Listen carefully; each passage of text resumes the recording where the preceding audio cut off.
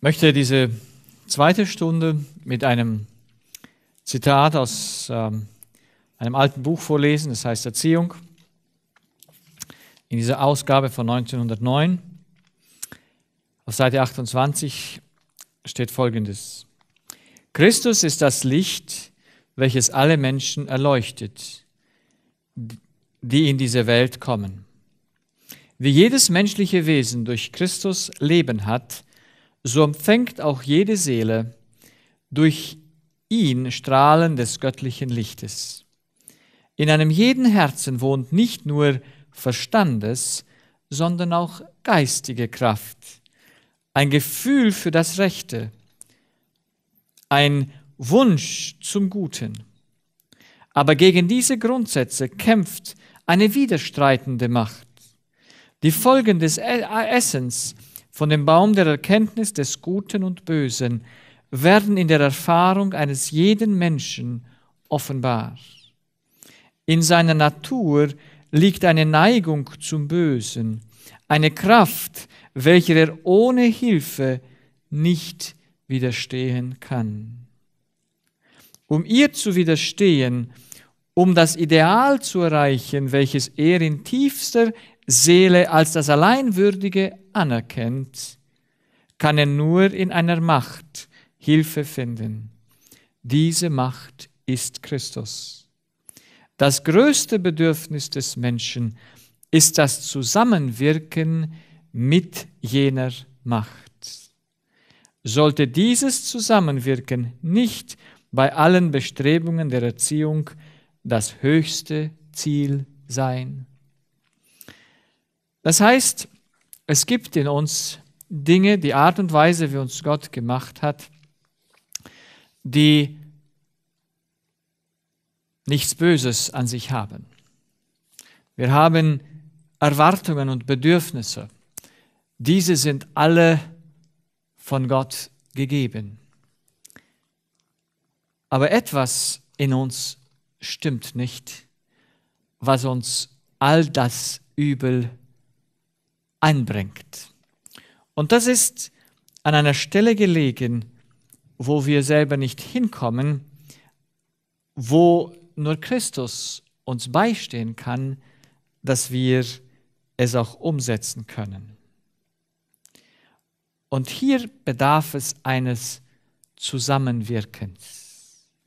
Dieses Zusammenwirken ist das, was mich letztendlich am meisten beschäftigt. Ich will nämlich in meiner Beziehung zu Gott herausfinden, wie kann ich umsetzen? Wie kann ich diese Macht, die ja zur Verfügung steht, in mein Leben einbeziehen und sie damit dann auch zu, zu realisieren, sie auch umzusetzen?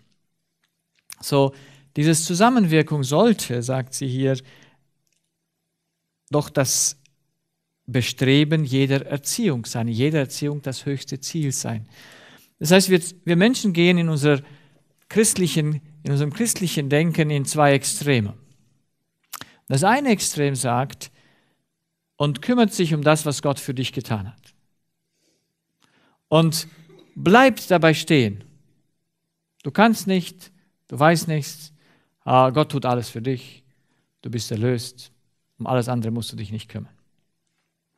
Und die andere Seite ist die, wo der Mensch es tut und tun will. Er hat erkannt, das ist richtig, aber er tut es aus eigener Anstrengung. Und versucht es aus sich selbst heraus zu können. Aber die Extrembeispiele zeigen uns, dass wir aus uns heraus das nicht tun können. Bei den leichteren mag es sein, dass wir ja mit ein bisschen Selbstdisziplin es schaffen können, uns zu beherrschen bis zu einem gewissen Grad.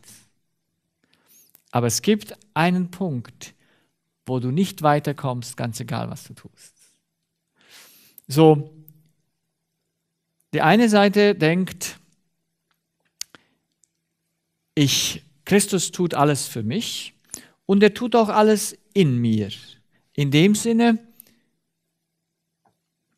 ich muss mich ihm nur hingeben. Und lass ihn arbeiten. Ja, gibt sehr häufig die, der Grundgedanke, dass ich ja nur Christus erlauben muss, in mir zu wirken. Aber das hat zur Folge oder das hat zur Grundlage die Idee, er muss mich beherrschen. Das kann Gott nicht. Es wäre gegen die Art und Weise, wie er uns gemacht hat. Ja, es gibt keine Beherrschung bei Gott. Jeder tut das, was er weiß, ist richtig. Nicht das, was Gott ihm diktiert zu tun, so wie einem Roboter. Besessenheit ist nicht die Wahrheit. Wir sollen nicht von Gott besessen sein oder vom Teufel besessen sein. Das ist nicht, ja, wir können vom Teufel besessen sein, aber nicht von Gott. Ja?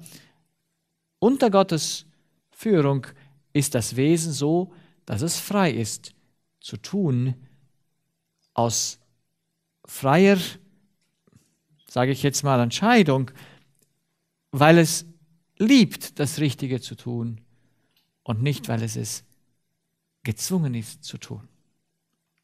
So, wenn wir hören, ich übergebe mich Christus und lass ihn tun, dann müssen wir wissen, das klingt irgendwie komisch. Und auf der anderen Seite, wenn jemand kommt und sagt, äh, du musst dich anstrengen und anstrengen, das hat auch einen Teil Wahrheit, aber wenn ich es aus mir heraus tue, komme ich nie zur Fruchtbringung. Ich brauche Christus, damit ich das tue. So muss ich verstehen, es ist das Zusammenwirken von Christus und mir. Es ist nicht eine Passivität, dass ich sage, Herr, mach du, sondern er macht mir manche Dinge klar und ich kann dann aus diesen Dingen zusammen mit ihm handeln. Um ein Beispiel zu geben. Als ich mich ärgerte, weil meine Frau nicht fertig war, wurde mir klar, okay, ich habe noch einen Haken in mir, der dazu führt, dass wenn etwas passiert, wo ich schnell zum Flughafen muss oder was auch immer, ich dann in die Not komme. Und weiß nicht, wie ich reagieren soll. So gehe ich in meiner Zeit zu Gott. Ich habe erkannt meine Not. Ich habe sofort gesagt, ich habe gefehlt. Ich habe es schnell erledigt. Aber ich muss zu Gott gehen und jetzt muss ich ihn fragen, wie hätte ich doch besser handeln können? Ja? Deshalb ist es entscheidend, dass wir in unserer Zeit mit Gott unser Leben auf den Prüfstand stellen. Ich gehe jeden Morgen, deshalb gehe ich in den Wald spazieren und spreche mit Gott und gehe nochmal durch den letzten Tag und besonders die Fehler des letzten Tages. Die müssen mir bewusst werden, damit ich sie korrigieren kann. Und ich bitte dann Gott mir zu zeigen, wie wäre diese Sache besser gewesen zu lösen? Wie hätte ich reagieren sollen? Weil braucht man auch eine Lösung für den Konflikt oder braucht man sie nicht? Ja oder nein? Will ich, wenn nächstes Mal meine Frau unpünktlich ist, oder sein sollte, mich wieder ärgern? Wie will ich vorgehen, damit ich auch pünktlich zum Flughafen komme? Und dass ich auch nicht mich ärgere und wieder Magenschmerzen kriege. Ich brauche also eine Strategie. Ich muss wissen, wie ich handeln muss. Das ist Zusammenwirken. Es reicht nicht, dass ich erkenne meinen Fehler. Ich muss sehen die Wurzel des Fehlers und muss diese Wurzel an dieser Stelle aus meinem Leben entfernen. Damit, wenn die Situation wieder entsteht, ich eine Lösung parat habe. Die habe ich gelernt, weil ich weiß, aha, Jesus würde so handeln, die Lösung wäre so. Und die Liebe würde das und das tun. Und dann kannst du es tun, vielleicht das erste Mal, das zweite Mal noch nicht, das dritte Mal noch nicht, aber beim vierten, fünften Mal fängt es an zu klappen. Dass du das auch umsetzen kannst. Es geht dann nicht mehr so schnell, wie du denkst. Ich dachte früher, der Zorn kommt so schnell, ich habe keine Zeit zu entscheiden. Heute weiß ich, es ist so viel Zeit. Aber der Zorn kommt in Hundertstel, wenn nicht Millionstel von Sekunden. Ja, wo du berechnest.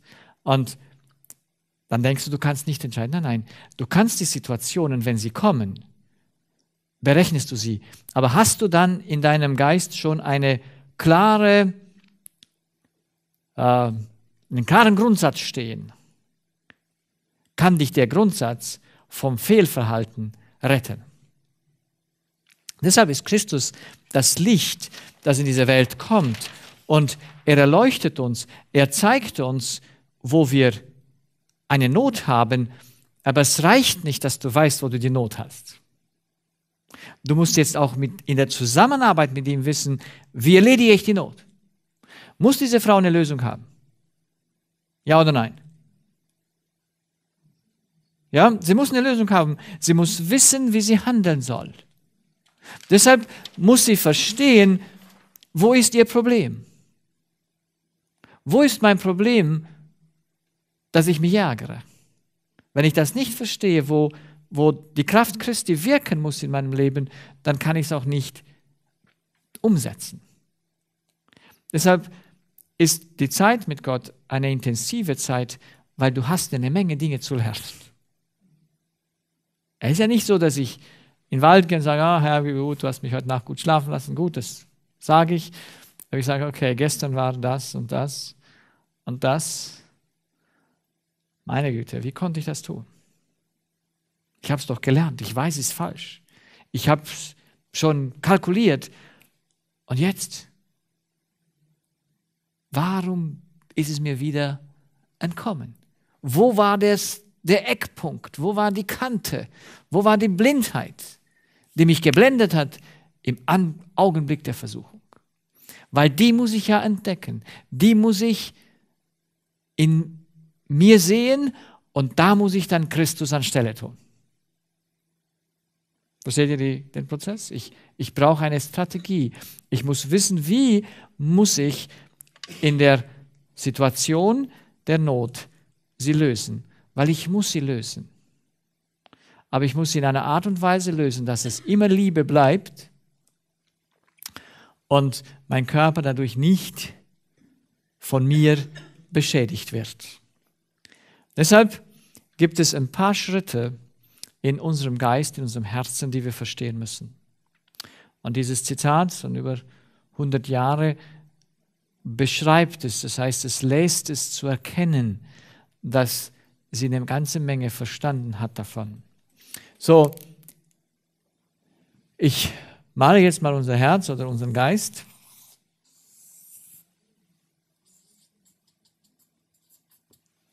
Und unser Geist ist so, dass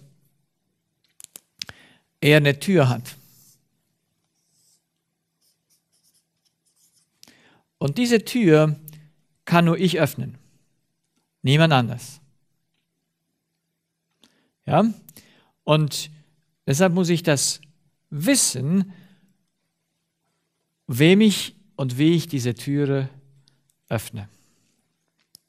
So, alle Information, die von außen kommt, kommt nur bis zur Tür. Es kann in unseren Geist nichts hineinkommen, was wir nicht hineinnehmen. Der Geist ist völlig autark, ist völlig selbstständig. Ihr werdet nur sehen, warum es nicht mehr ist heute. Aber so wie ihn Gott geschaffen hat, funktioniert er nach einer Regel, wo dich niemand geistig bestimmen kann. Es gibt keine geistige Gewalt. Die geistige Gewalt ist nur eine Illusion. Sie ist eine ein Betrug des Geistes, weil niemand kann über meinen Geist Gewalt ausüben, weil es geht nicht. Der ist völlig fest.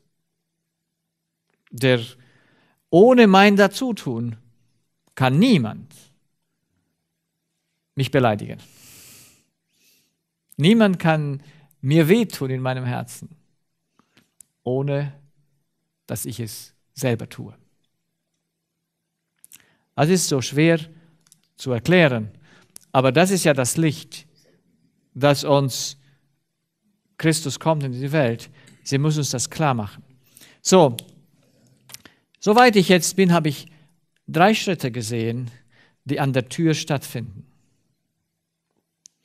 Die ganz normale Schritte sind. Sie finden nur in Millionstel Sekunden statt. Der Geist ist eine sehr schnelle Einheit.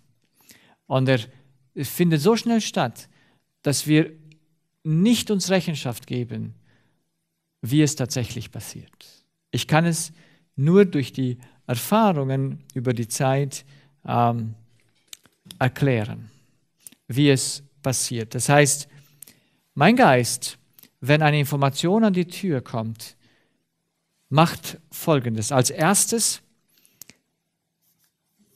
er muss die Sache bewerten,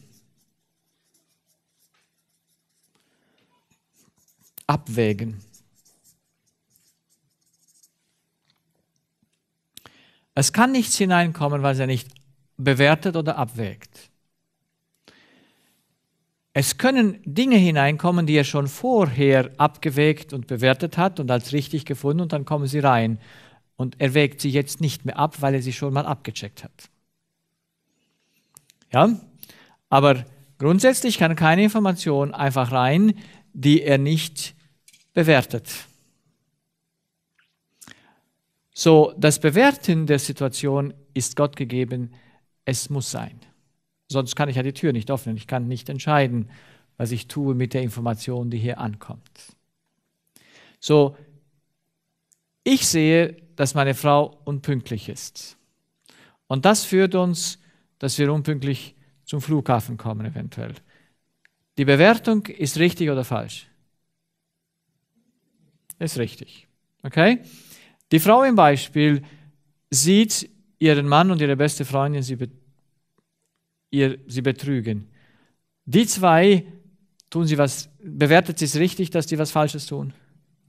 Ja. Dieser Schritt ist richtig. Gott hat in uns hineingelegt, dass wir zwischen Gut und Böse entscheiden müssen. Wir müssen es immer bewerten. Ja? Dieser Schritt ist auch nicht falsch. Er ist richtig. Der zweite Schritt ist auch richtig. Nämlich Gott hat uns eine natürliche Abneigung gegeben gegenüber dem Bösen. Das heißt, wenn ich hier bewerte etwas und ich bewerte es negativ, bin ich automatisch dagegen. Natürlich. Zum Beispiel Pünktlichkeit, Unpünktlichkeit. Auch die, die unpünktlich sind, sind gegen Unpünktlichkeit, wenn ihnen die Unpünktlichkeit gebracht wird. Ja?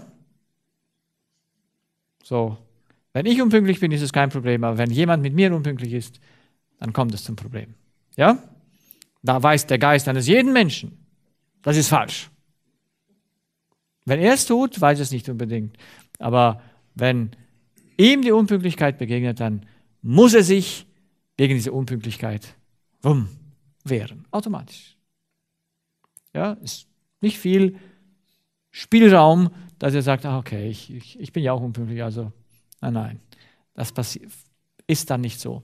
Sondern ich bewerte es, es ist negativ, ja, negativ und positiv, wie auch immer wir das nennen, gut oder böse. Zweitens, ich habe eine natürliche Abneigung.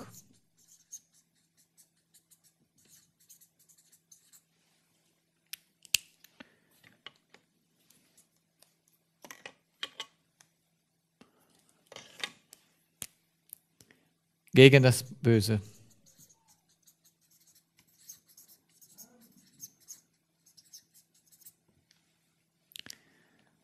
Das ist eingebaut. Wäre ja schlimm, wenn wir keine Abneigung hätten gegen das Böse, oder? Wäre ja schlimm, wenn die Lüge uns gefallen würde, wenn das Verbrechen gut ist, wenn die Untreue etwas Gutes ist. So, es ist Gott gegeben, dass wir entscheiden können, dass wir beurteilen können und dass wir automatisch gegen das Böse vorgehen. Ja, wir haben eine natürliche Abneigung gegen das Übel. Aber jetzt kommt der dritte Schritt, den ich soweit entziffern konnte in unserem Denken. Jetzt kommt die Bewertung nicht nur des, der Tat, sondern jetzt kommt die Bewertung in Bezug, wer hat den Schaden durch das Negative, das passiert ist. So, wenn meine Frau unpünktlich ist, wer hat den Schaden?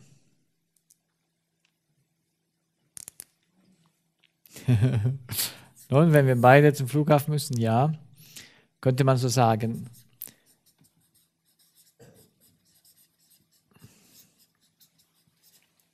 Was denke ich?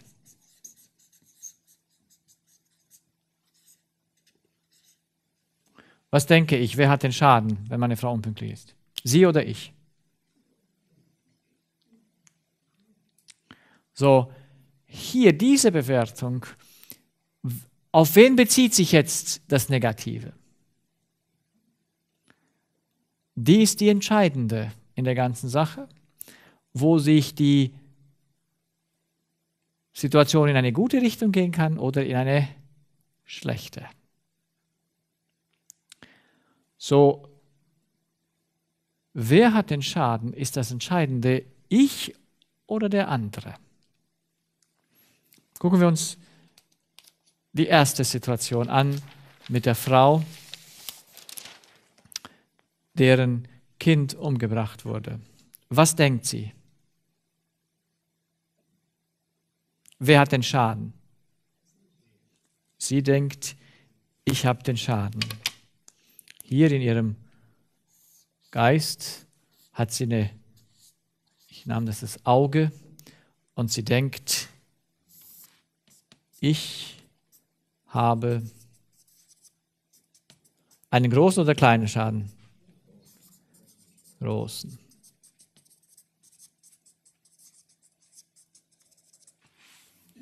So, die Frau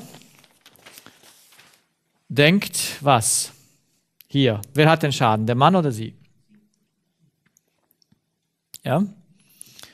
Sie denkt im Auge, der Schaden, weiß nicht, wo soll ich hinschreiben?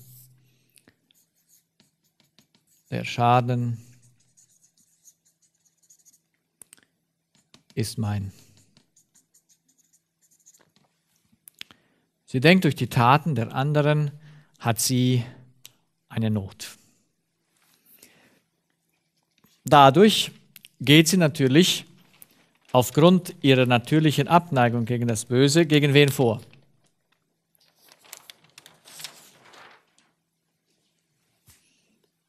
Ja?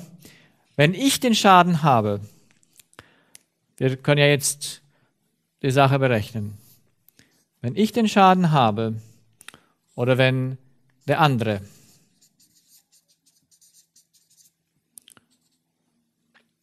den Schaden hat, welches ist der nächste Schritt, wenn ich denke, ich habe den Schaden? Ich habe ja eine natürliche Abneigung gegen das Böse. Und jetzt denke ich, der Schaden ist mein. Und es ist so in, der, in dem Geist des Menschen, wenn er denkt, er hat den Schaden, er kann im Schaden nicht sein, das erkläre ich in den Gesundheitsvorträgen, ähm, wieso das so ist, wie wir gemacht sind. Wir können einen Schaden nicht auf uns ruhen lassen, wir müssen aus ihm raus. Also wenn ich den Schaden habe, dann folgt daraus automatisch Selbstmitleid.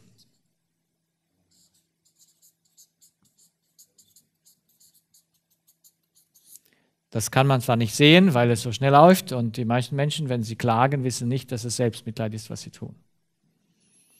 Sie denken, sie klagen und es tut ihnen gut. Nein, Klagen kommt aus Selbstmitleid. Und Selbstmitleid führt zu Gewalt. Was würde diese Frau tun, wenn sie die Freiheit hätte auf den Mörder? Was würde diese Frau tun, wenn sie eine Freiheit hätte ihrem Mann und ihrer Freundin gegenüber? Was würde sie tun? Ja, sie würde also Gewalt anwenden. Den Mann würde sie treu machen und die Freundin würde sie ja, dementsprechend töten. Ja, ja das, ist, äh, das ist die, genau, das ist die, das ist die Wahrheitssache. Äh, ja, so denke ich, ich, ihr, versteht ihr, wie die Gewaltzone kommt? Der Zorn kommt, weil ich den Schaden habe. Genau, ja. Selbstmitleid führt zu Gewalt. Gewalt kann sich in verschiedenen Formen äußern, ja. Und die Gewalt macht dann die Krankheit im Körper. Wenn wir hier noch den Körper dazu malen, dann kommt das hervor. Deshalb wird die Frau depressiv. Sie würde ja gerne das Problem beheben, aber sie sieht sich selbst im Schaden. Wenn sie jetzt sehen würde, der andere ist im Schaden, was würde daraus folgen? Wenn sie sagt, aha, ich lebe jetzt 20 Jahre mit diesem Mann zusammen und jetzt hat er plötzlich äh, Flausen im Kopf, irgendwas anderes und er verguckt sich in die Freundin. Was offenbart das vom Mann? eine große Armut, oder? Also, wenn ich den armen Arm sehe, was kommt in mir auf? Natürlich. Ich habe eine Abneigung gegen das Böse. Aber wenn ich sehe, dass dem anderen Böses passiert, dann habe ich eine natürliche Neigung des Mitleids ihm gegenüber. Oder des Helfens, oder? Das ist Mitleid. Mitleid führt nicht zu Gewalt. Ja? Mitleid führt, ich sage es mal, zu einer Abwägung, wie kann ich am besten helfen, mit, der notwendigen, mit dem notwendigen Abstand zu wissen, okay, was soll ich tun? Aber Mitleid ist gewaltfrei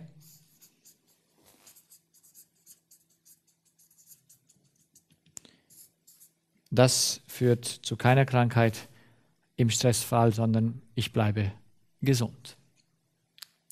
Man kann die Schritte noch ein bisschen verfeinern, aber so als Übersicht. So, die ganze Entscheidungsgeschichte findet hier statt, wo ich wissen muss, wer hat den Schaden. Es ist die entscheidende Frage. Das Entscheidende, was in meinem Herzen geklärt werden muss. Wenn ich das geklärt habe, dann geht die Kaskade weiter. Da gibt es keine, kein Aufhören mehr. Der, ich sage immer so, das Zünglein an der Waage ist das hier. Ich muss wissen, wer hat den Schaden von der Sache. Und der Schade, wer hat ihn denn? Ich habe gelernt, dass die Patientin hier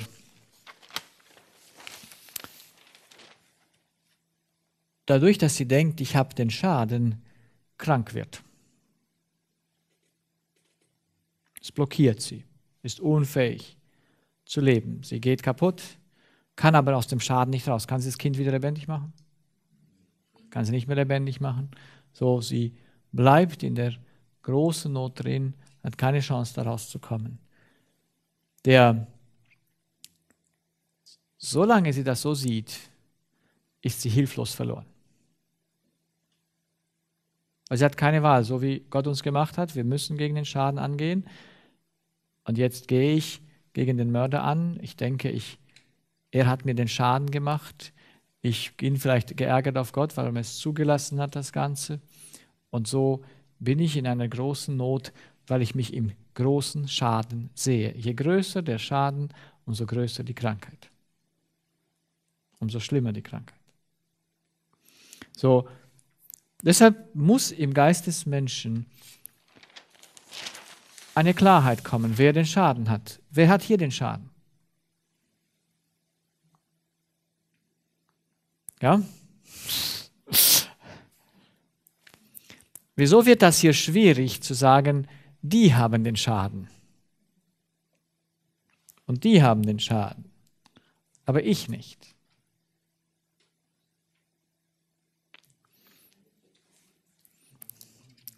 Jetzt. Das wird jetzt ein bisschen hoffentlich nicht zu schwierig. Wir müssen in unserem Geist lernen, Dinge zu unterscheiden. Und das fiel mir früher auch nicht so leicht, aber die Not lehrt es mich. Das ist die Ehe. Und hier in der Ehe haben wir Weiblein und Männlein.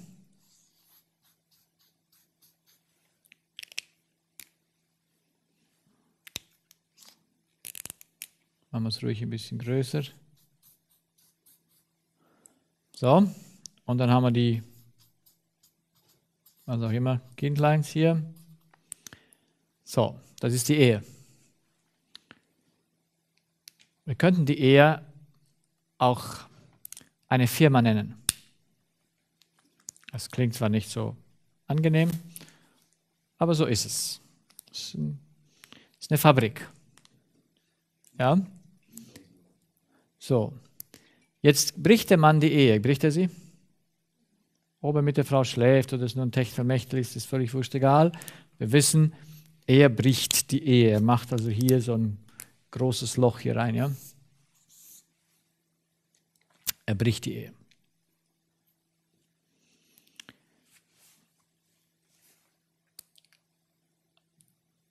Die Ehe ist aber nicht dasselbe wie die Frau, ist es? Die Frau ist ja nur ein Teil des Geschäfts. Sie ist nicht das Geschäft selbst, oder? Man ist ja da, um etwas zusammen zu schaffen. Deshalb ist man in der Ehe. Man ist nicht da, einer für den anderen zu schaffen, sondern man will gemeinsam etwas schaffen. Aber wir denken, die, der eine ist für den anderen da als Liebesquelle und als ähm, Befriedigung. So denkt also die Frau, wenn er die Ehe bricht, dass sie einen Schaden hat. Die Ehe kriegt einen Schaden, ganz klar, den er vollzieht. Und er hat einen Schaden. Und sicherlich werden die hier mit reingezogen in den Schaden. Aber die Frau muss schadfrei bleiben, wenn sie es versteht. Der Mann bricht also die Ehe, er zerstört die Firma. Aber die Mitarbeiter können es doch überstehen. Oder müssen die Mitarbeiter auch zerstört werden? Ja? So, deshalb, deshalb ist, es, ist es wichtig, dass wir verstehen, hier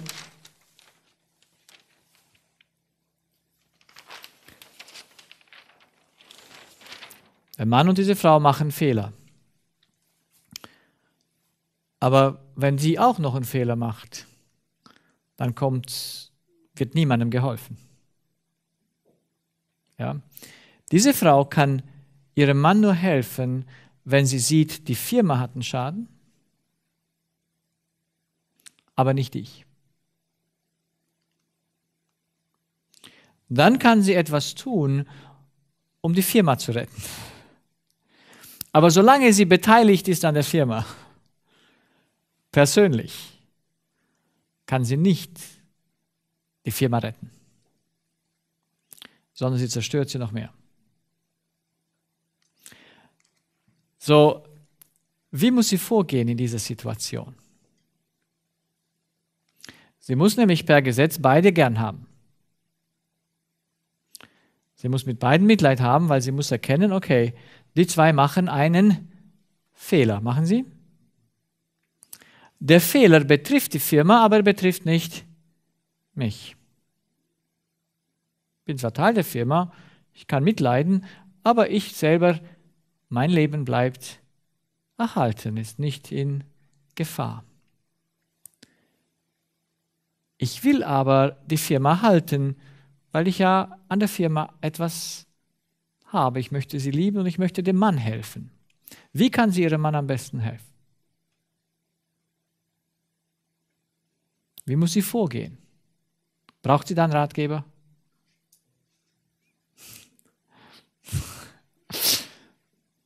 Was muss sie tun?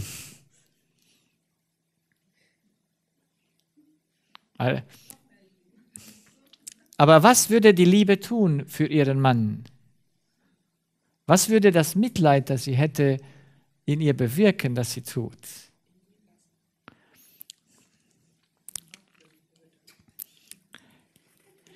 Kann sie ihn halten? Also sie kann so oder so nicht halten. So, das Ding ist ja eh kaputt. Ja? Die Frage ist nur, kann ich etwas helfen zu reparieren? Ich muss deshalb verstehen, wo bin ich gefangen? Und ich habe einen einfachen Rat gegeben, den sie tun muss aus Liebe für ihren Mann. Es kam ja so, dass ich alle zur Beratung hatte, nicht wegen der Situation. Er kam wegen seiner Probleme mit ihr, sie kam wegen ihrem Verliebtsein in den anderen ohne mir zu sagen, wer es ist. Und die kam und sagte, ihre beste Freundin. Und dann habe ich gesagt, okay, ist das deine beste Freundin? Und so kannte ich dann die ganze Geschichte. So, wenn man unterwegs ist als Berater und in einer gewissen Stelle ist, dann erfährt man sehr viel über einen Ort, wenn man fünf Leute aus einer Gemeinde hat, die zur Beratung kommen. Dann erfährt man große Dinge, weil man sieht, wie die, die Dinge letztendlich zueinander stehen. So, ich kenne sie alle. Und sie ist aber die am meisten in Not. Ich habe ihr ganz klar gesagt, sie soll von ihm wegkommen, ohne sich zu verabschieden. Ja, habe gesagt, abbrechen, zu deinem Mann hinwenden. Sie mag ihren Mann schon zweieinhalb Jahre nicht mehr. Ja, seit zweieinhalb Jahren gibt es hier keine Intimität.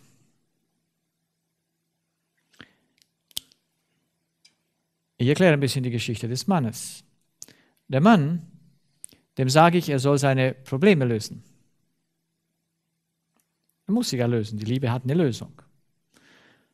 Er sagt aber, wenn ich meine Frau vor eine Wahl stelle, dann mag es sein, dass meine Frau sich von mir trennt, weil sie ist ja entschlossen, ja, sie hat ja die Fäden in der Hand. Und dann wird, werden meine zwei Kinder, meine Schwiegermutter aufwachsen und das will ich vermeiden. So lebt er in einem Haus mit ihr in so einem Zustand. Gesund oder ungesund. Aber er unternimmt nichts. Weshalb nicht? Wem will er nicht schaden? Sich selbst. Sein Handeln mag nobel erscheinen, oder? Ist null nobel, null liebevoll. Weil er hat eine Aufgabe, er muss die Dinge erledigen. Aber er erledigt sie nicht aus Bequemlichkeit und aus Eigennutz. Ist nicht Liebe. So, ich hoffe, dass wir ein bisschen die Balance sehen. Die Liebe hat klare eigen, gerade Vor, Vorstellungen, was, wie man etwas lösen muss und nicht. Die Liebe ist nicht eine Passivität, die sagt, naja, ich weiß jetzt nicht, was ich tun soll. Nein, im Zusammenwirken mit Gott weiß ich, wie kann ich das Herz meiner Frau wieder gewinnen. Und ich muss mich anstrengen, oder nicht? ja, ich, ich muss etwas tun, weil ich liebe doch den anderen, oder? Will ich ihn denn im Schaden lassen, den anderen, wenn ich ihn liebe? Ja oder nein? Nein, weil ich identifiziere mich. Christus, warum kam er auf diese Welt? Warum kam er? Wer hatte den Schaden? Er? Nein, er hätte auch im Himmel bleiben können und wir wären sterben können. Er lebte vor uns und er lebte nach uns. Er, hat, er ist nicht abhängig von uns. Aber er sagt, ich kann doch meine armen Kinder nicht im Schaden lassen. Ich will sie lösen. Und Mitleid und Liebe trieb ihn, auf diese Welt zu kommen, um uns rauszuholen. Anstrengend oder nicht anstrengend? Wie viel Anstrengung hat es ihm gekostet? Bluttropfen hat er geschwitzt. Einer von uns schon? Paulus sagt, hat jemand von uns schon im Kampf gegen die Sünde Blut geschwitzt? Oh, keiner. Also ich doch ich zumindest nicht. Ja? So, Jesus kam auf diese Welt nicht um hier zu spazieren zu gehen, weil uns zu erlösen, uns den Fehler zu zeigen, uns aus, der, aus dem Schaden herauszubringen, hat ihn alles gekostet. Und wenn ich wirklich liebe, dann bin ich bereit, für den anderen was zu tun. Ich stehe nicht passiv und sage, naja, ihre Sache, ich kümmere mich um die Kinder und was auch immer passiert. Das ist nicht Liebe, wenn man Dinge nicht erledigt.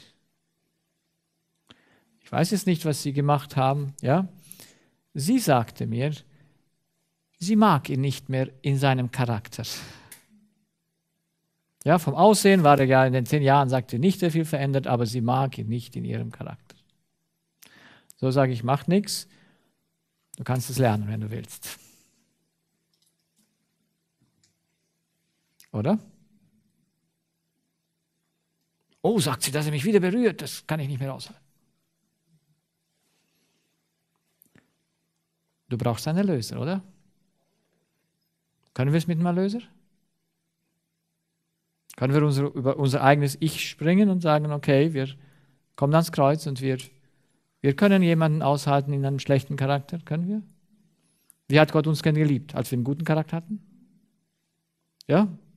Kam er auf diese Welt und sagt, ah, ich bin für, der Petrus ist der beste Charakter, den ich habe, nicht? Und der Judas und so. Waren das? Der Johannes sagt, lass Feuer von mir fallen, nicht? Da hat er eine Stadt nur verboten, dass sie durchgehen soll. Und die Donnersöhne sagten, das ist die Todesstrafe wert. Ich sprach letztes Wochenende über das Telefon mit einem Ehemann, der sagte seiner Frau, du hast mich verraten, auf Verrat steht die Todesstrafe, aber ich töte dich nicht, wessen, weil es noch diese Kinder hier gibt. Das ist ein sehr liebevoller, nicht? Ein gläubiger Mann. Auf Verrat steht Todesstrafe. Und ich muss sie jetzt an dir vollziehen. Ich sage Ihnen es, wir haben ja keine Ahnung, was passiert. Ich hätte nicht gewusst, was in dieser Welt los ist. Aber in meiner Praxis weiß ich, was los ist.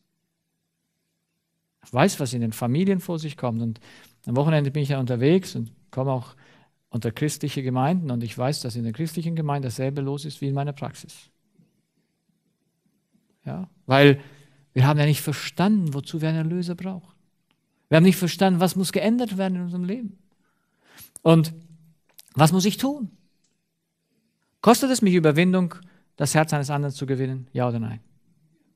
So natürlich. Es kostet auch ihre Überwindung, das Herz ihres Mannes wieder zu gewinnen und wiederzukommen, damit sie dem Ehebund treu sind, dem sie ja geschworen haben, treu zu sein.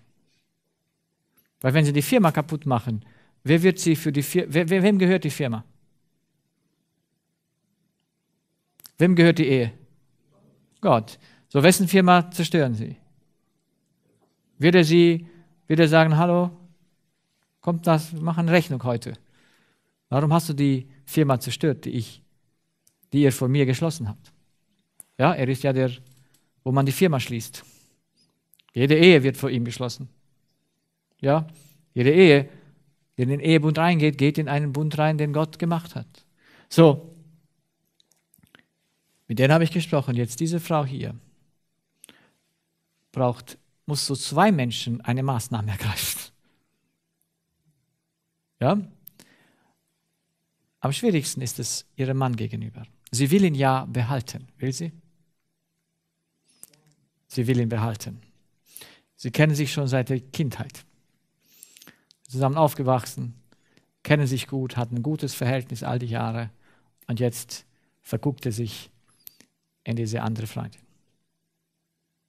So, sie will festhalten an der Ehe. Sie will an ihm festhalten. Um wessen Willen? Um der Ehe willen oder um ihretwillen? Um ihretwillen. Also, wenn es etwas geht, wenn es um meinetwillen geht, muss ich Kompromisse eingehen. Ich muss also irgendwo in ein Geschäft eingehen. So versucht sie ihn, ja, und fünfmal verspricht er. Aber er kann sich nicht dran halten. Warum fällt er fünfmal? Oh, er hat keine Angst. Weil ihm nicht die Konsequenz bewusst ist, was mit seiner Firma passiert, wenn er so weitermacht. Wer muss ihm die Konsequenz zeigen? Wer? Die Frau. Die Frau muss ihm zeigen, schau, wenn du so weitermachst, und ich habe ihr empfohlen, sie soll sagen, wenn sie will, kann sie ihm einmal noch verzeihen. Aber das ist das letzte Mal. Und dann muss sie die Ehe für immer beenden. Das klingt hart, oder? Aber es ist liebevoll. Sie muss es mit Liebe tun zu ihm, weil er sonst nicht sich Rechenschaft gibt, was er tut. Es geht um ihn, nicht um sie. Wir können dieselbe Handlung aus Egoismus tun, aber dann ist sie verbittert. Sie muss es um seinetwillen tun. Und er sagt ihr, lass uns noch ein bisschen warten. Sechs Monate, bis der Junge, der Älteste, sein Abitur besteht, dass er nicht in diese, dass er nichts mitkriegt. Ja, gib mir, ja, so, versteht ihr die, was sage ich ihr? Ich sage ihr, es gibt keine Wartezeit in manchen Entscheidungen. Es gibt Entscheidungen, die müssen heute passieren. Wenn ich sie nämlich sechs Monate weiterlasse, passiert nur noch Schlimmeres. Ja, wir können Dinge zurücklassen, wenn wir nicht wissen, wie wir handeln sollen. Aber dort, wo Klarheit herrscht, wie man handeln muss, ist das Handeln sofort notwendig. So heute, wenn sie will, kann sie zwei, drei Tage ihm Chance geben zum Nachdenken. Und dann muss sie sagen, die Ehe ist dann endgültig. Dann hast du deine Ehe verloren, hast du mich verloren, dann hast du deine zwei Kinder verloren und dann wirst du gucken, deine Reputation, das kommt dann in die Öffentlichkeit und dein, dein ganzer Ruf, alles geht den Bach runter. Willst du das? Du tust es dir an. Aber es muss etwas geschehen dass du die Konsequenz, die Folgen siehst dessen, was du tust. Viele kommen heute und sagen, ja, warum musste Christus am Kreuz sterben? Und gucken das an von einer philosophischen Weise. Hätten wir je gewusst, wie schlimm die Sünde ist, hätten wir je gewusst, welchen, welche Konsequenz sie hat, wäre er nicht gestorben am Kreuz. Hätten wir je gewusst, wie, wie sehr Gott die Sünde hasst und wie schlimm sie ist, würde sie nicht dargestellt, was sie kostet und was sie nach sich zieht. So, sie muss helfen. Wenn sie das tut und ihrem Mann die Konsequenz gibt und er weiß, sie meint es ernst, es wird aus sein und nie mehr zurückgehen dann mag er die Kraft haben zu sagen, ich will das nicht verlieren, was ich habe. dann mag eine Chance sein, dass er sagt, okay, und ist sie, wie sie ist, und weil sie, sie ist es nicht wert. Weil wir müssen ja abwägen, oder? Gegenüber dem, was ich habe und gegen dem, was ich kriege. Und wenn er versteht, dass das, was er verliert, ist größer wie das, was er hat, dann wird er bleiben bei dem, was wertvoller ist. So funktionieren wir als Menschen. Wir können nicht das Wertlosere nehmen. Wir müssen immer das Wertvollere nehmen. Wir müssen das. Das ist so funktionell in uns eingebaut. Es geht nicht anders. So, aus diesem Grunde muss er wissen, was er tut. Aber seine Frau kann es ihm nur tun, wenn sie weiß, ich habe den Schaden nicht. Den Schaden hat mein Mann, den Schaden haben die Kinder, den Schaden hat die Firma, aber nicht ich. Und ich tue es aus Liebe für ihn. Ich bin nicht beleidigt, ich äh, habe keine Probleme, weil es nicht mich betrifft. Wie viel sucht die Liebe für sich selbst? Sie sucht das Wohl des anderen. Die Frucht des Geistes agiert zugunsten des anderen. Sie mag streng agieren. Es ist nicht immer Liebe, wenn ich lächle und tue, wie wenn alles gut ist. Nein, nein, das ist nicht Liebe. Nicht immer Liebe. Jesus wird aus Liebe einen jeden Menschen richten müssen. Jesus muss aus Liebe auch ein Urteil sprechen. Er hat gesagt, der Vater hat mir das Gericht übergeben. Und er muss es tun, um seinetwillen? Nein, um des anderen willen und um der Firma willen, um des Universums willen, um der Gesellschaft, die errettet werden muss, muss Gerechtigkeit vollzogen werden. Und das ist Liebe. Es gibt ein, kein Konflikt zwischen Gerechtigkeit und Liebe. Und zu ihr, wie muss sie zu ihr sein? Hat sie ihr einen Schaden gemacht?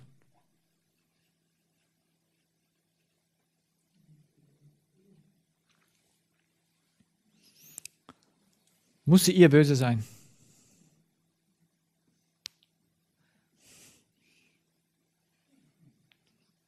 Sie muss ihr gar nicht böse sein weil sie ist ja auch ein armes Opfer. Sie kann mit ihr weiterhin Freundin sein. Ja, weil sie tut eine Dummheit. Es betrifft ja sie, der Schaden. Ja? Und sie kann ihr natürlich sagen, schau, wenn du deinen Mann lieben würdest, dann wäre das Ganze nicht entstanden. Wenn du dich um deine Kinder kümmern würdest, wenn du dein Leben aufopferst für die Firma und nicht für dich selbst, nach dir selber suchst. Aber hier finden wir ein Musterbeispiel, dass wir nach uns selbst suchen. Wir suchen nach unserer eigenen Befriedigung, unseres Bedürfnisse auf Kosten des Bundes, den wir geschlossen haben. So, wir brauchen ein neues Licht. Wir brauchen Christus der uns zeigt, der, der die Sünde tut, hat den Schaden, nicht der sie nicht tut. Der sie nicht tut, der wird zwar mit betroffen vom Schaden. Die Kinder werden betroffen, ohne dass sie was dafür können. Aber der Erwachsene wird nur dann betroffen und geht kaputt, wenn er das falsch bewertet, nämlich als sein Schaden. Die Firma ist nicht sein, die Ehe ist nicht mein. Weil wenn sie mein wäre, könnte ich sie brechen. Dann könnte ich mit ihr machen, was ich will. Sie ist nicht mein, sie ist Gottes. Sie ist ein, ein Bund mit Gott, nicht mit einem Menschen. Ein Mensch ist zwar beteiligt, aber die Sache ist nicht mein. Deshalb muss ich wissen, wenn jemand fehlt, fehlt er sich selbst und er fehlt der Gesellschaft oder der, der Ehe, aber nicht mir persönlich. Weil das, was ich herausgefunden habe, die Ursache unserer 90 Prozent von Krankheiten sind, ist, dass wir den Schaden, die Fehler, die andere tun, als unseren eigenen persönlichen Schaden sehen. Und das zerstört unseren Geist und unseren Körper. weil es ein Irrtum ist, nicht eine Realität. Brauchen wir dazu eine Erleuchtung? Glaubt ihr, wir können es aus uns selbst tun? Wer von uns könnte, wenn uns jemand was Böses tut, sagen, der Bösewicht hat den Schaden, nicht ich? Wer könnte das? Und das ist das, was durch die Erlösung in uns stattfinden muss. Hier muss das Licht der Wahrheit uns erleuchten. Und hier müssen wir mit Gott lernen. Gegen das Übel dürfen wir sein, aber nie gegen den Übeltäter. In dem Moment, wo ich gegen den Übeltäter bin, tue ich es um meines Schadens willen. Bin ich nur gegen das Übel und sehe den Übeltäter als Opfer des Übels, dann habe ich Mitleid mit dem Übeltäter und sage, okay, wie kann ich diesen erlösen aus dieser Sache heraus? Die Welt wird erkennen, dass es einen Erlöser gibt, erst dann, wenn das Volk Gottes die Frucht des Geistes trägt. Und zwar, indem sie handeln können. Liebevoll. In diesen Situationen. Wo es nicht mehr um uns geht, wo wir um der Sache willen und um der Liebe zum anderen willen handeln, nicht um unsertwillen. Ohne Erlöser ist das nicht möglich. Ohne dass Christus mein Ich zerstört und ich am Kreuz sterbe, so wie Paulus sagt, ich sterbe täglich, kann ich nicht verstehen, dass der Schaden nicht bei mir liegt. Ich werde immer den Schaden an mir selber sehen. Und das wird mich früher oder später in meinem Körper selber zerstören. Das Schlimmste an der Sünde ist, sie führt zur Selbstzerstörung des Individuums, das sie trägt. Und sie führt zur Selbstzerstörung nicht des Übeltäters, sondern des Opfers.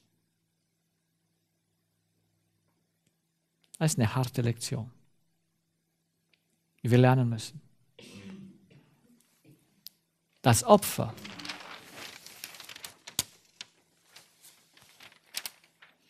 Das Opfer braucht einen Erlöser.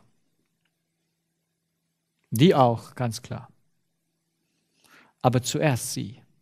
Wenn sie einen Erlöser hat, wenn sie die neue Sicht der Dinge hat, der Schaden haben die anderen